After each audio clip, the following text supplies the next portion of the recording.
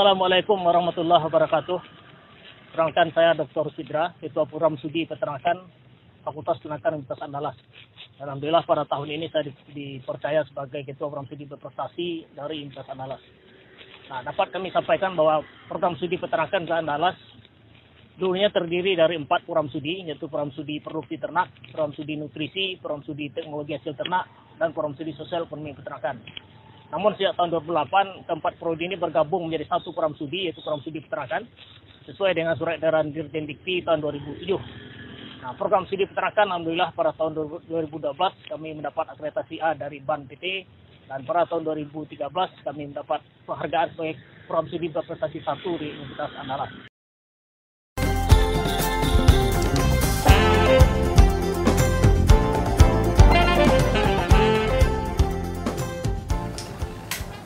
Program studi peternakan merupakan uh, program studi yang sekarang ini terdiri dari empat peminatan, yaitu peminatan produksi ternak, peminatan nutrisi dan teknologi pakan, peminatan teknologi hasil ternak, dan peminatan sosial ekonomi dan pembangunan peternakan.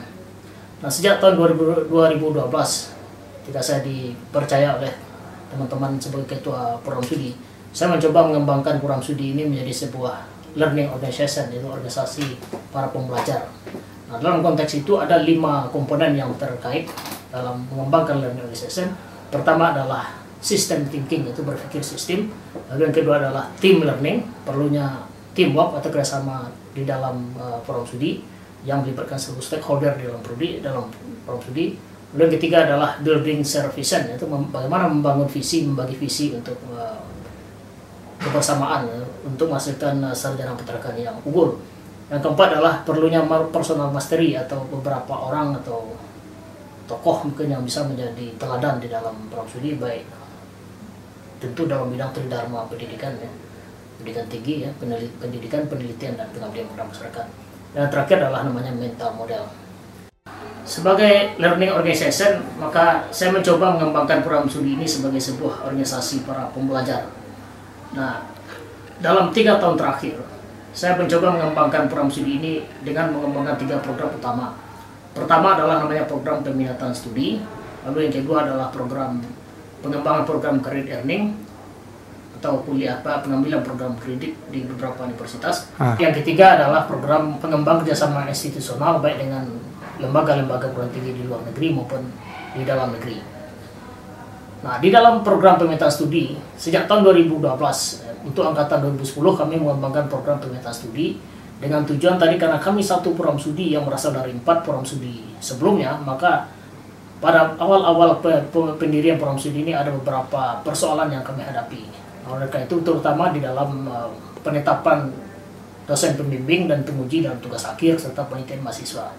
Nah, sebelum tahun 2012 terjadi ketimpangan yang luar biasa di dalam pembagian dan distribusi dosen pembimbing dan penguji di keempat bagian.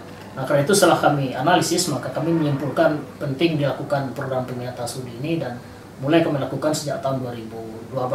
Dan Alhamdulillah dampaknya mahasiswa tamat lebih cepat, kemudian IPK naik lebih uh, lebih uh, mengalami peningkatan dan sekarang rata-rata IPK adalah 3,12 sebelum kita kalau kami lakukan peminatan rata-rata IPK adalah 2,96 Lalu yang kedua, program kredit earning sejak tahun 2012 kami melakukan kerjasama dengan Fakultas Penerangan IPB untuk mengirim mahasiswa Fakultas Penerangan ke untuk berkuliah selama satu semester di Fakultas Penerangan IPB.